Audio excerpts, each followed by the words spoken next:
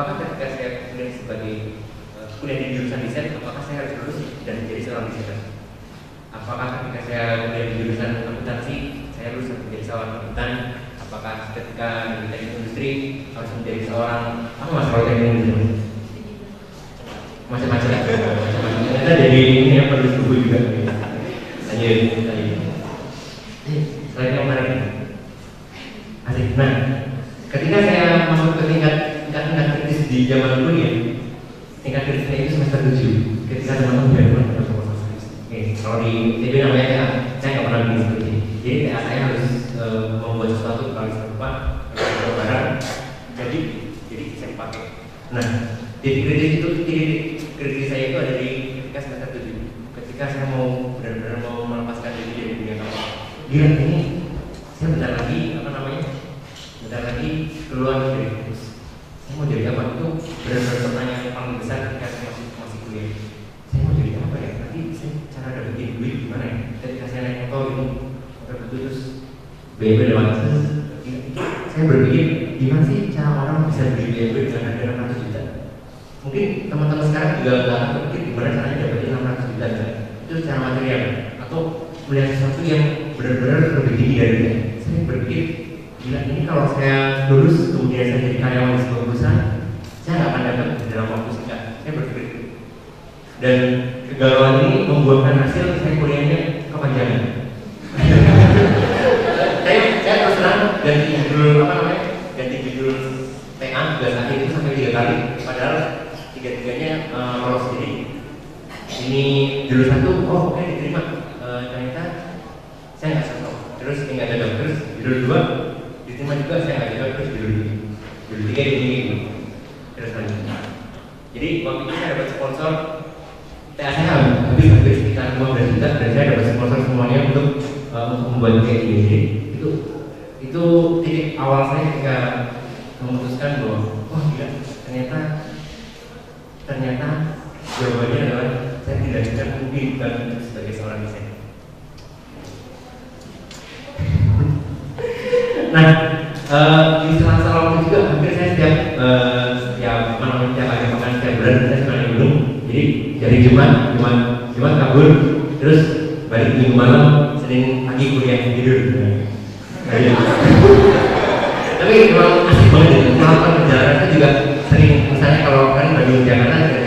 Jadi berangkat Sabtu pagi naik kereta ke Parayangan terus wisata kota di Jakarta keliling terus berangkat suka sama teman kayak gitu. Atau paling random itu kalau misalnya saya sama teman saya yang juga aneh naik angkot terus itu sampai 600 kita turun di mana? Di cuma 600 dan kita jalan-jalan sampai biasanya sampai jam 12 malam untuk masuk ke gang-gang menemukan hal-hal yang mungkin eh, pertanyaan-pertanyaan besar bagi orang-orang itu yang bingung mau ngapain gitu.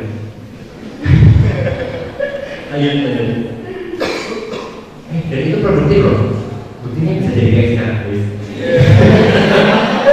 oke ketika saya kuliah saya juga punya pandangan seperti ini bahwa kuliah itu gak cuma gak cuma apa namanya gak cuma di kelas.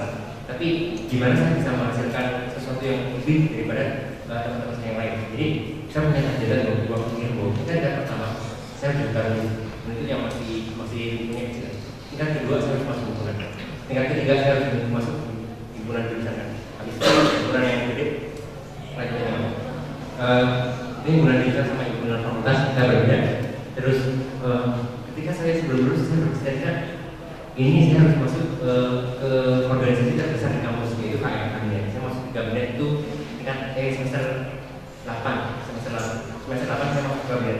Bayangin ketika bingung apa namanya uh, bingung proposal terus bingung terus mau ngapain saya justru ngambil ngambil apa ngambil peran di kabinet yang makin menguatkan alasan untuk gak mungkin. Oh iya saya habis dari kabinet juga saya harus keluar kampus saya harus punya punya apa punya sesuatu di luar kampus.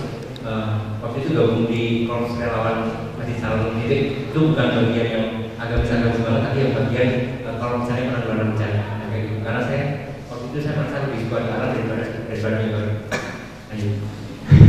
Ini kayak ajarannya nggak terus ketika ketika lulus saya harus punya uh, jalan yang sifatnya rasional jadi harus ada wadah yang mungkin bisa menghubungkan saya dengan teman-teman dari kampus lain karena saya itu apa ya namanya ketika saya bertemu dengan teman-teman yang dari UI dari Undi dari macam-macam itu rasanya berbeda ketika saya ketemu sama anak ITB saya kalau kerja sama sama sama anak ITB sendiri itu nggak pernah cocok nggak tahu kenapa.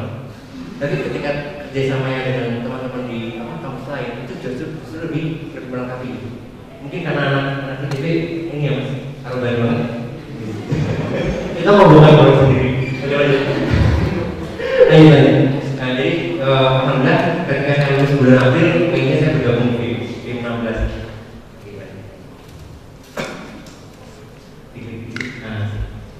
Nah, ini adalah karya tak terduga saya yang apa namanya benar-benar tak terduga dalam artian saya nggak berencana saya ketika lulus ya, ketika kuliah saya nggak nggak pernah berencana untuk jadi seorang penulis saya juga nggak pernah berencana untuk menerbitkan jadi semua kegalauan saya dari kuliah ya banyak 2009 sampai dengan saya mau lulus kuliah di 2014 di masa 2014 semuanya saya tulis Tumblr di Tumblr jadi semua kegalauan saya saya tulis.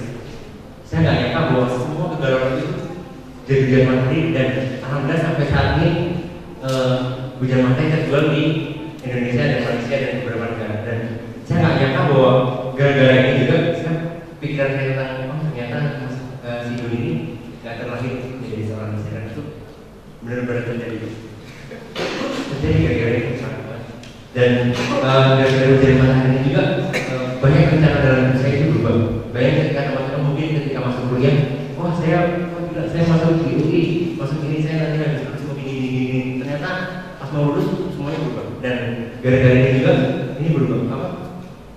Eh, rencana hidup saya itu berubah. Bayangin saya lulus eh lulus itu bulan April terus waktu itu saya udah kerja di perusahaan dari bulan Oktober 2013 jadi lulus itu bulan April 2014 saya keluar dari perusahaan itu Mei 2014 dan langsung bikin proyek ini. Jadi benar-benar apa ya saya memutuskan untuk keluar dari dunia desain itu all out gitu. Wah saya bukan di sini saya mau uh, menekuni yang ini kayak gitu. Lanjut mas. Nah ini hujan matahari. Ini hujan matahari. Sampai saat ini hujan matahari terjual sampai kemarin hampir hampir dua sebelah saya nggak akan nyangka bahwa eh, orang-orang itu ada yang buku yang kayak gini. Ini yang beli siapa kita juga bingung kenapa kalian beli dan saya sampai bertanya-tanya sendiri loh apakah ini sebagai pertanda dari Tuhan bahwa ternyata garisnya di situ atau atau hal-hal lain yang mungkin saya belum bicarakan hari ini? Dan ini pertama sebaran jalan ini. Nah ini pertama sebaran di mana hujan matahari itu terjual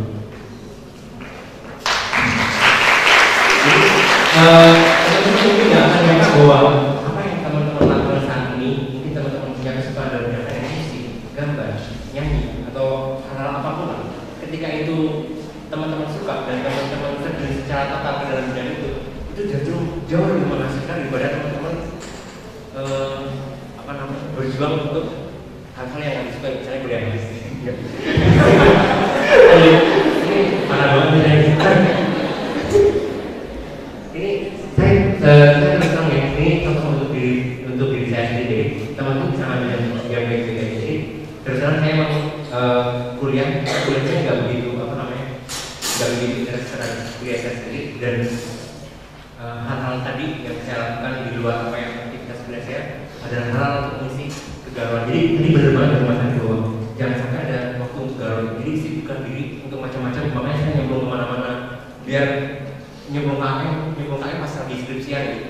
itu benar-benar gak ada waktu buat mikir aduh kan saya biar bisa terus mau ngapain? Karena eh, bikin laporannya kayak bagus nah kayak jadi buat ngisi sibuk banget sampai ke sibuknya itu benar-benar parah dan saya baru merasakan bahwa ketika teman-teman ya nanti teman-teman akan belajar tentang manajemen waktu dan manajemen waktu itu hanya akan teman-teman tahu ketika teman-teman nyemplung di kesibukan yang nauzubillah jadi belajarnya dari situ. Oke nanti ini adalah keputusan hidran saya eh, di Desember 2014 jadi gara-gara hujan matahari saya mau berpindah dari Bandung ke Yogyakarta. Dengan banyak alasan dengan banyak pertimbangan saya memutuskan untuk pindah dari Bandung yang sekarang Bandung itu lagi hits banget. Keren banget dan saya eh, datang ke Bandung minggu lalu juga. Wah gila kenapa saya pindah dari Bandung? Dan ya kayak gitu. Ada ada